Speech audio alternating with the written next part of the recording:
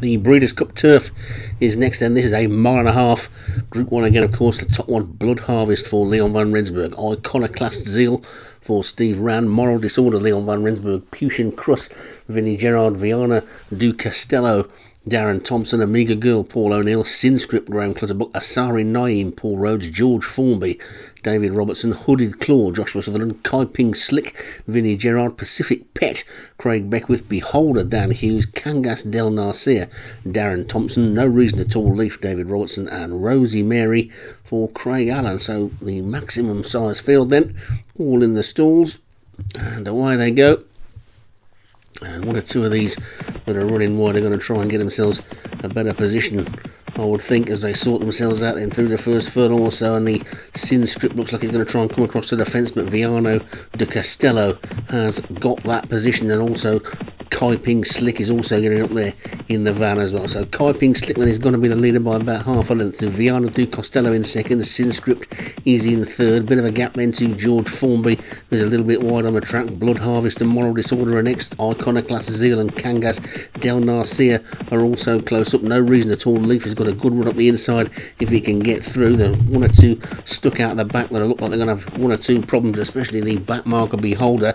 But it's Kaiping Slick in the lead as they race into the final mile. Then Kaiping Slick is in the lead by about a length to Viana Du Costello in second. Sinscript is tucking in behind them in third. Then wide on the track, George Formby and Blood Harvest with Kangas Del Narcia Iconoclast.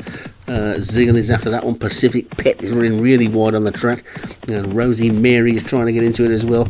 But as they come up now past the big screen and past the post with a full circuit to go, and that means a couple more big sweeping turns. And Kaiping Slick is in the lead by about three quarters of a length. To Viana Du Costello in second, Sinscript is third, Blood Harvest is in fourth, and then George Formby and Moral Disorder. No reason at all. Leaf is next, then Kangas Del Narcias, then one being pushed along is Iconoclast Zeal. Rosie Mary's got the inside. Pacific Pets losing ground on the outside. Puchen Crust is towards the back. So is Amiga Girl and Asari Naim, and Be Hooded Claw and Beholder haven't got into it at all, and I've got a mile of ground to make up. But it's Kaiping Slick who's now kicked on by about two lengths. Kaiping Slick there queuing up behind to challenge though. Iconoclast Zeal now sweeping around the outside, moves into second. It's Kaiping Slick in the lead as they hit the three furlong pole. Kaiping Slick has got the inside.